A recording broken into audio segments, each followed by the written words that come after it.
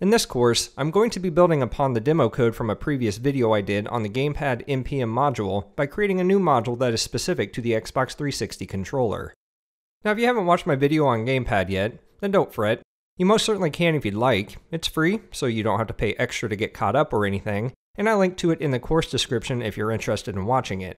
But the code I used in that video was actually taken directly from the sample code provided by the Gamepad author here on the NPM site.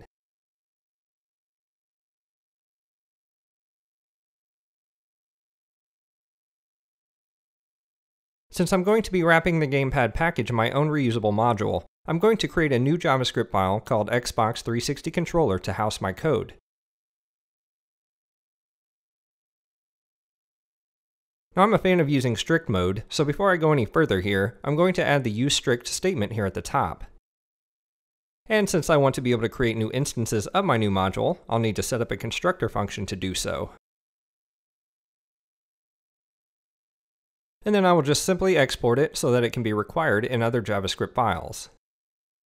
If you're new to the module.export statement here, it's provided by Node.js as a way for you to expose members of a file, such as properties, functions, and objects, to be used in other JavaScript files.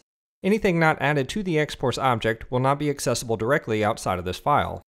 In this case, I'm exporting the constructor function so that other JavaScript files can instantiate new Xbox 360 controller objects.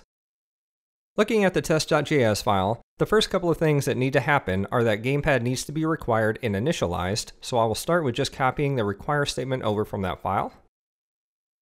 And now I will create an init function in my new file, which will just simply call gamepad's init function. I'll add my new function to the prototype though, so that all instances of the Xbox 360 controller object inherit the same function definition. And by nature of being defined on the prototype, it is actually included with the export statement I added just a bit ago, so I don't need to export it separately. Alright, now I'll just plug the gamepad init function in here. And one function I did not cover in my video on the gamepad module is the shutdown function. It does not necessarily have to be called, and is more or less just a convenient way to prematurely clean up resources in an application when gamepad is no longer needed.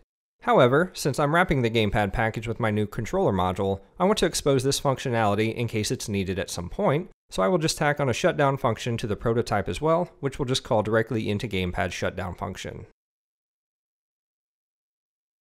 Alright, and that's all of the functions that my new module is going to offer, so let's move on now to see how we can wrap gamepad's events and emit our own.